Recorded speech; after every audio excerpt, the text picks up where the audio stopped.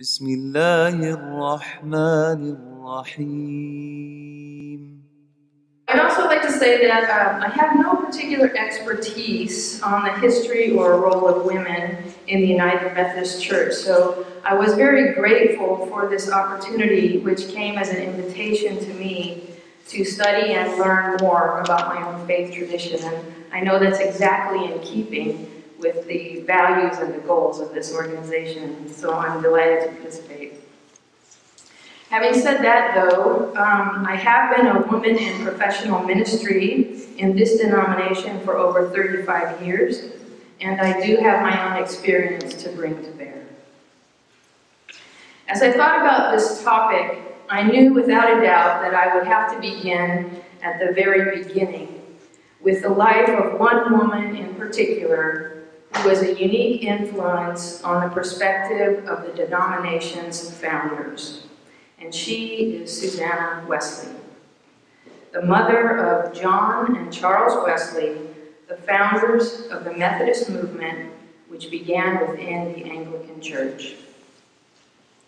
Susanna became the wife of Samuel Wesley in 1688 in England, and together they had 19 children, nine of whom died in infancy, the day after each child turned five years old, Susanna began their formal education with six hours a day spent in lessons, including the daughters being taught. On Sunday afternoons, Susanna assembled her children for the singing of psalms and for hearing of a sermon which she delivered. Up to 200 local people began attending her services because the Sunday morning preacher, in quotations, lacked the diversity of spiritual teaching, which Susanna's services provide. Susanna's husband Samuel, who was a rector at the Epworth Church and who had been away for some time while Susanna assumed this man's role as a preacher, challenged Susanna to justify her actions. She responded that she believed the life of the church hung in the balance and no other course of action was left open to her other than to take action. So her son John, who was nine years old at the time, had a very powerful example of the kind of leadership women might exert in church and it would influence the role women would eventually have in the development of his Methodist movement. Methodism began as a revival movement within the Protestant Church of England in the 1730s. While attending Oxford University, John and Charles began their holy clubs, which adhered to disciplined prayer, study, and service schedules. The name Methodist stuck, though it originated as a derogatory term that students at Oxford used to ridicule the rigorous methods and structures employed by the Holy Club. As Holy Clubs grew into Methodist societies and the movement spread to North America, women participated in large numbers.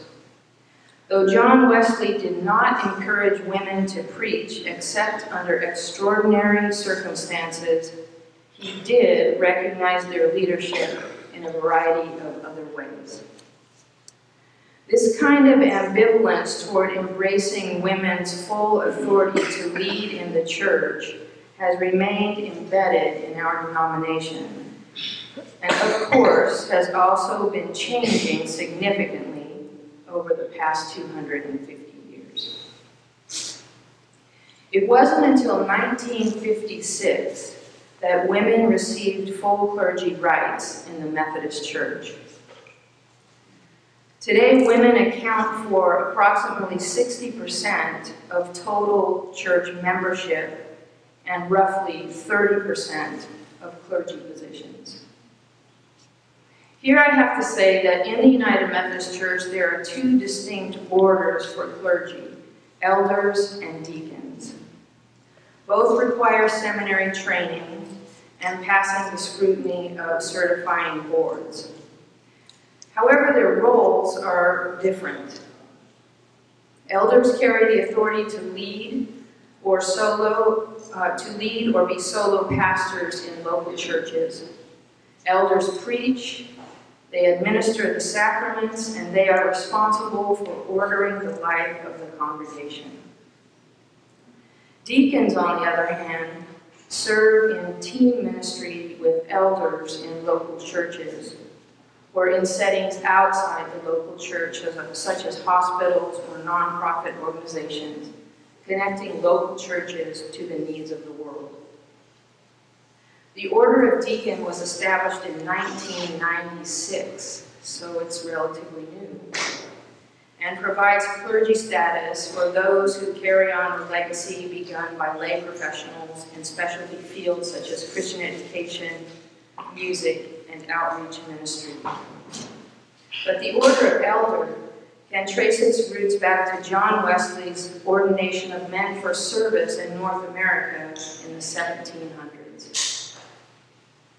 In 2014, 76% of all those ordained as deacons were women, and 80% of elders were men. I'm a deacon, and my colleague, Pastor Henry Kim, is an elder. As is always the case in women's leadership development, having role models who are women has immeasurable value. I chose Christian education as my profession because I felt called to ministry and I was influenced in powerful and delightful ways by Maydell Hares, the children's ministry specialist at the church my family attended in Texas. I'll never know if I would have chosen ordination on the elder track if Maydell had been the pastor rather than the Christian educator. But that was Texas in the 1970s. And what's important to note is that the United Methodist Church looks very different in the western United States, and particularly here in California, than it does in the southeastern United States. The race and gender divide is much more pronounced in places like Mississippi and Virginia, Alabama and Texas, for instance, than it is in California. In 1984, Bishop Leontine Kelly was elected the first black woman to become bishop in any Christian denomination. And she was elected by the Western jurisdiction of the United Methodist Church after she had withdrawn her name with great disappointment from consideration in the southeast where her, where her home church was, because it was clear she could not be elected there. The United Methodist Church is an institution that reflects the racism and sexism and homophobia, don't get me started, of the context in which it lives. It also contributes its own layers. A clergy sister once told me that on the first Sunday she led worship in a small church in the Central Valley of California as the first woman pastor in its history. The organist, rather than playing a hymn or a piece of sacred music, played the theme song from the Miss America pageant as she processed down the aisle to begin worship. In the decades since women were first ordained elders, they have faced many challenges as they have sought to carry their authority authentically.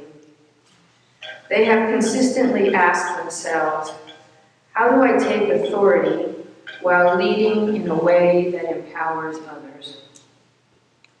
Over the years, as women have continued to live their answers to that question, it has become a foundation for a leadership style shift throughout the whole church. Today, as membership in the United Methodist Church and in other mainline Protestant denominations in the United States continues to decline, and as upkeep for aging church buildings becomes more difficult, innovative young clergy are creating new ways of seeing the church by returning to relationship and hospitality as the heart of ministry. House churches are forming around bread baking ministries, caregiving ministries, and workplace based ministries are inviting seekers to an experience of church that holds promise for them and is not the style of church their grandparents attended. I think the influence of women in ministry has been a significant contributing factor to this kind of attentiveness to the changing needs of society.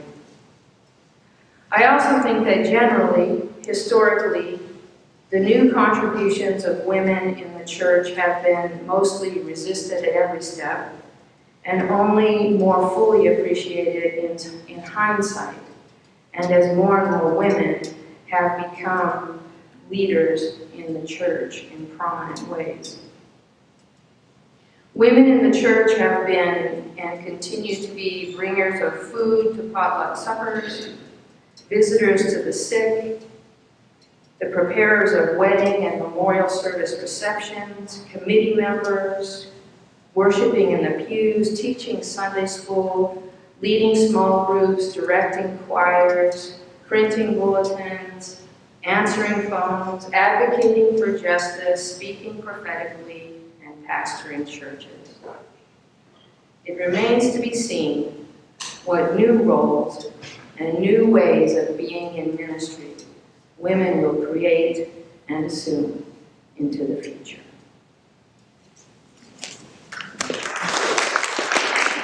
Pretty impressed with the uh, uh, with the turnout. Um, with that said, I the, the topic for tonight's talk um, is really something I wanted to first focus on before I actually get into the talk, because um, I'm sure it's been repeated, but what is the role of women in your faith, right? And how has it evolved over time? The wording here is important uh, because the focus is on the faith, right?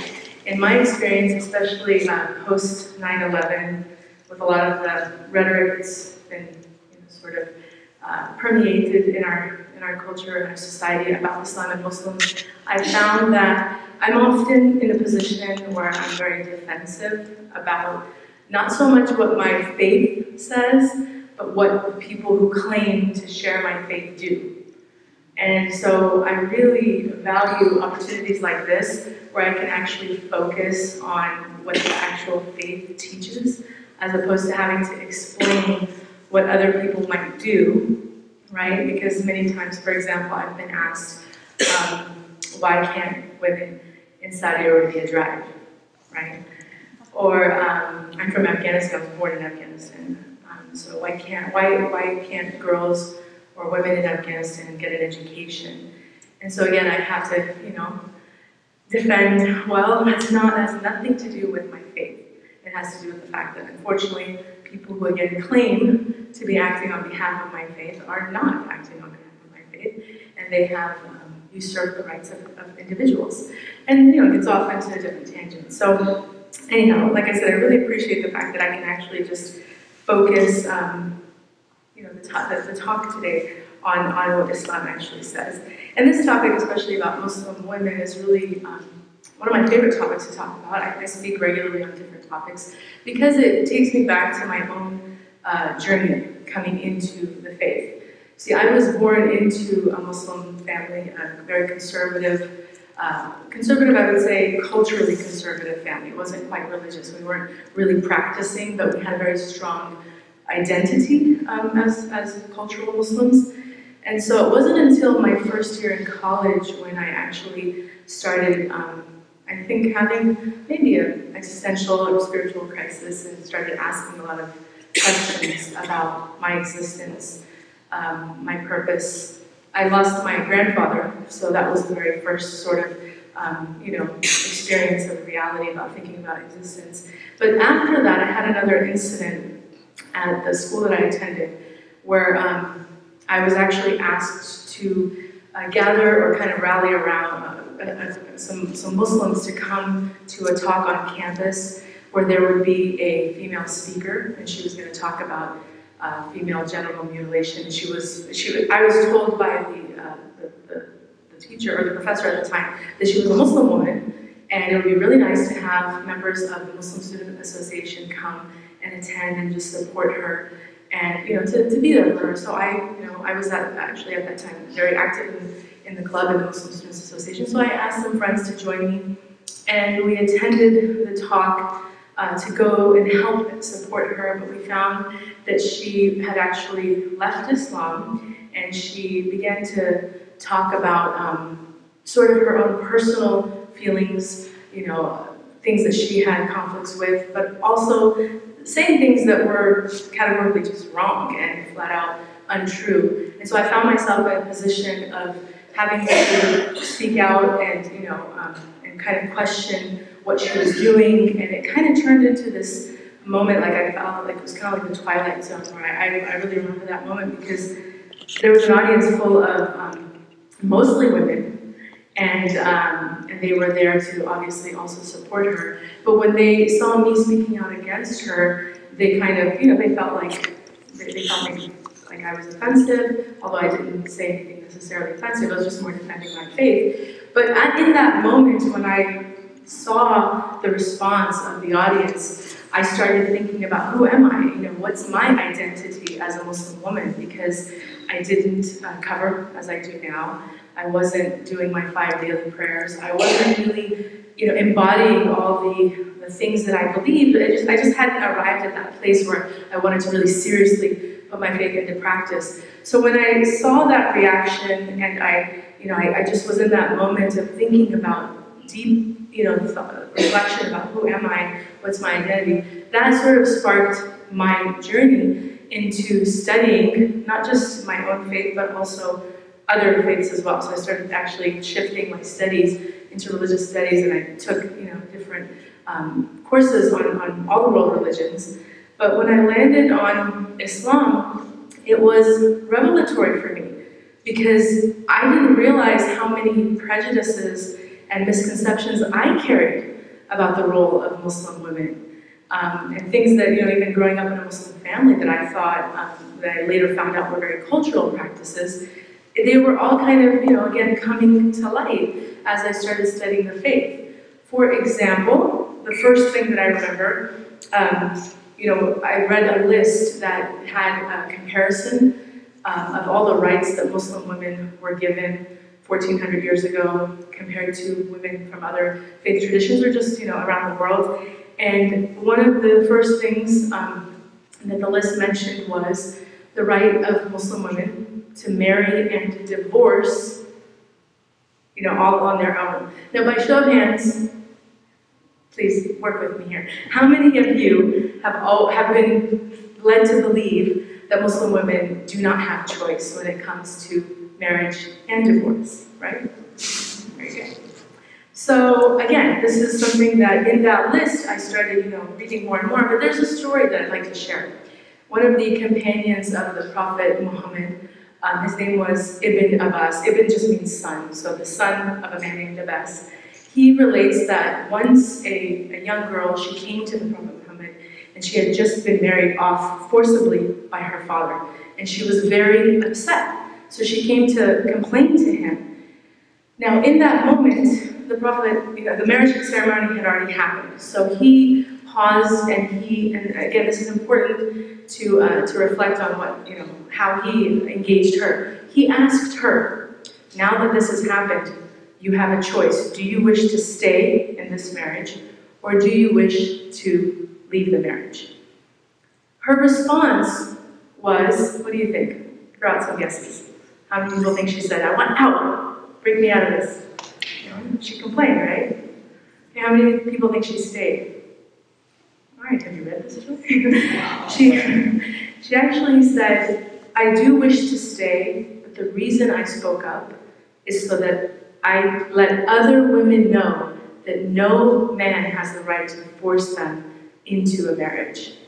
So this story to me was really profound because not only is she exercising her own, you know, choice, right, in the matter, but she's also clearly showing that she is looking out for other women, and so she made a really responsible decision to speak out. She could have just you know, kept quiet and gone to, and stayed in that marriage without anybody ever knowing that she had a problem with it. But she wanted to make a, a clear point. And the fact that that was related, to, not just one story of many that dispel this myth that Muslim women cannot marry or divorce, and that's one, like I said, of many. But another uh, right that, again, just, you know, that, that, that might surprise you, is that Muslim women have a right to an education. Um, again, by show of hands, I mean, I come from Afghanistan, we went through the war, we've heard it all, we've seen it all. I think there's a very common perception or misconception that girls, especially in, in, in Muslim countries, are deprived of an education, and this might be somehow rooted in the faith, right? Have you ever been led to believe that? Okay, so Again, another saying of the Prophet Muhammad, he said, the seeking of knowledge is obligatory upon every Muslim.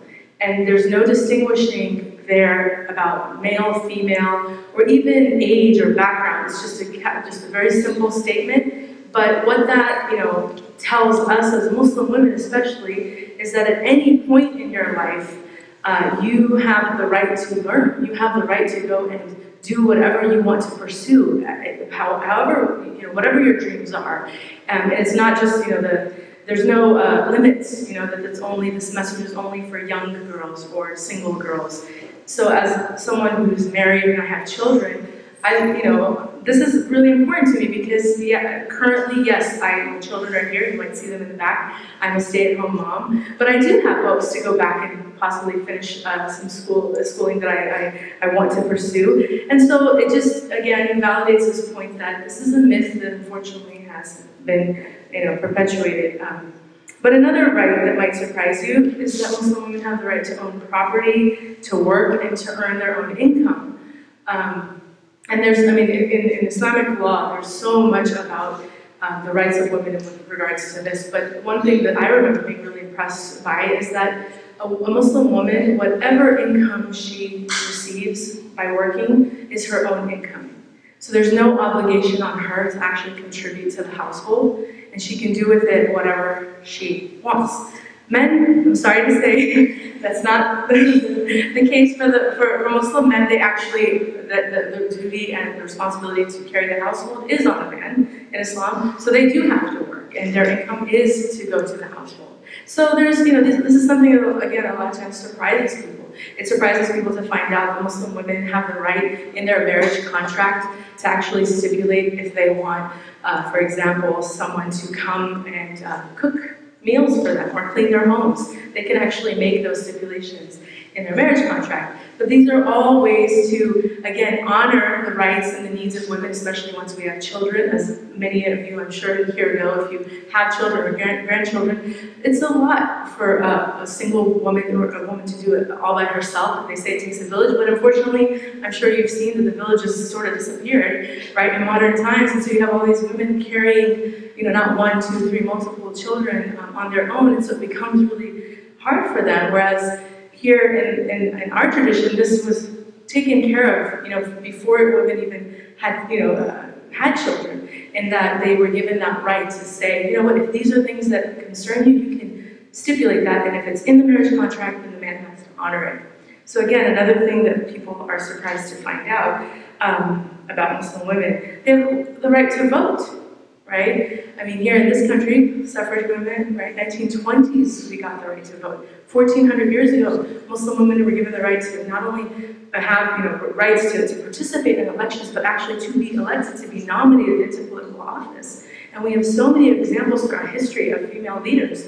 And, and, uh, and I, we're going to actually, I'll list a few for you in a little bit. But just something that people don't know often about historically uh, the position of Muslim women. For Another right, we have the right to be respected and treated well. Uh, the Prophet Muhammad in a saying said, the best of you are those who are best in treatment uh, to their wives. And there's, this is just one statement, but many other stories that relate this importance of really honoring the, the position of a woman in society, uh, a woman in her house. So a lot of things that people, again, um, don't know. But like I said, in my own journey, these were things that I was surprised to find out because, you know, culturally, things are not always in line with the faith. And this is something that as someone who now speaks on the tradition, I have to, you know, again, always kind of clear up for people that there's things that you might find out or hear or see and witness that are expressions of maybe someone's personal beliefs, someone's cultural beliefs, but that's not in the tradition, in the in the in the faith itself. Um, just to kind of, uh, I don't know how much time I have, but I'd like, I wanted to just present some famous Muslim women in history to give you clear examples of, of, of how these women exercise their rights. Um, Khadija bint Khuwaylid is the first wife, or was the first wife of the Prophet Muhammad, um, peace be upon him. But she, her reputation preceded him. She was known as a very wealthy and very intelligent um, uh, businesswoman. She was entrepreneurial. She actually had, um, she was a tradeswoman, so she had a business of selling and trading goods that, um, and she employed men, mostly men, who would travel as far as Syria on her behalf. And to be a woman in pre-Islamic Arabia at that time doing something like that was pretty extraordinary. But it just, she's an exemplar in, in the faith, and she's considered one of the four perfect women that um, that we study in terms of just her story. But she, even after, uh, you know, he, he received prophecy at the age of 40, they were married at that time, but even after Islam, she continued to uh, use her wealth in extraordinary ways to help um, to help Muslims, and, and, and, so she was in her own right a very established like, uh, woman, and she's an icon of, of the faith. Um, there's another woman, her name is Umm Amara, and she was also a female companion of the Prophet Muhammad. She was actually went to, to join one of the, the great battles at that time as a nurse to tend to some of the wounded, but she found herself on the front lines of the battle. So she's kind of one of those warrior women who just went right out there and you know fought, and she was she's another amazing example. We have um, Fatima al-Fihri. She was a, a 9th century um, woman who established the Qarawin uh, Mosque in Fez, Morocco, which is actually considered to be the very first university in the world. This was done by a Muslim woman. So again, things that people don't associate with Islam, first of all, but then with Muslim women are things that are like this. We have Lubna of Cordoba. She was an Andalusian, uh, Andalusian intellectual and mathematician of the second half of the 10th century, and she was famous for her knowledge of grammar and the quality of her poetry. We have Maryam al-Astrolabia al-Egidia. It's a, a, title because she was a great mathematician and scientist who worked on astrolabes, which again was in the 10th century invented by, by Muslims. Zainab al-Shahda from the 12th century, she was a great calligrapher and teacher. Razia Sultana from the 13th century, who was the first female sultan of Delhi. Uh, Queen uh, Amina of Zaria of the 16th century, and she was known for her military expertise uh, especially her brilliant military strategy and in particular engineering skills in erecting great walled camps during her various campaigns. So she's actually credited for doing something that um, our own president has not yet been able to do. She built a wall. the famous Zaria Wall in Nigeria, so I think we need to let him know about her. Um, but there's so many other extraordinary examples throughout history of Muslim women done amazing things that, again, just kind of show the role of women in Islam has been pretty consistent from the onset. It's a matter of, you know, I, you know, having that strength of uh, knowing who you are, knowing what God expects of you, and then acting on it. Um, so when this question was posed about how has the role changed um, in Islam for women, I I would say in my lifetime, honestly, it hasn't necessarily changed in Islam. It's been consistent. But in terms of uh, Muslim women in the public you know, sphere, yes, it's changed. You know, when I started uh, speaking publicly about 20 years ago, you know, there was, um, in, in our local mosques and our Islamic organizations, we'd have, you know, um, talks just like this, or banquets, or, you know, dinners where they would have speakers uh, that would come and present, and very few women were doing it at that time. This was just about 20 years ago or so. Um, ironically, though, when I was training to be to do uh, to become a speaker, I was actually trained under two uh, women who are still here in the Bay Area they're amazing um, uh, women. They do a lot of interfaith work, and you might have actually heard of them because they they are you know sort of the trailblazers in terms of Muslim Interfaith Work in America. Their organization is called Islamic Networks Group. You've heard of them? Yes, there you go, have some. But uh, Maha ElGenaidi and Ameena Jandali, they're personal friends of mine, actually worked for ING for uh, a couple of years.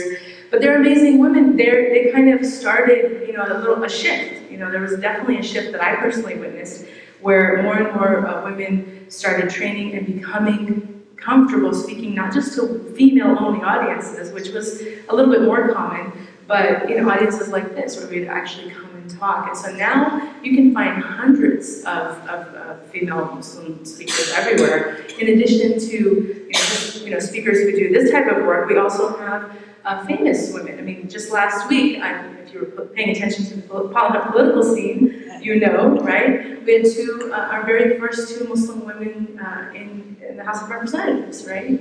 Ilhan Omar and Rashida Tlaib. So these are just two examples, but in addition to them, we have so many other people that you might not even know were Muslim that are in the fields of journalism, film, media, music. Um, even, uh, you know, we had um, our first U.S. Olympic fencer who represented the United States, and she was in full hijab, you know, full cover, Ibtihaj Muhammad in 2016. So there's so many examples of Muslim women that are just, you know, they're coming, I think, more and more into the public sort of domain because maybe perhaps um, it's because our we kind of are, you know, more visual as in general in terms of, uh, you know, media and internet, social media that we just kind of uh, use these uh, platforms more. I don't know, but I do, I do feel that that's where I would say there's been a, ch a change. And uh, I'm, I'm proof of that myself. My, many of my friends who do the same work are proof of that, that in recent years we've seen that change. But historically speaking, um, as the examples I, I, shared with you and many others that uh, we didn't have time to go over, um, like I said, the, the role has been consistent. Thank you. Thank you so much.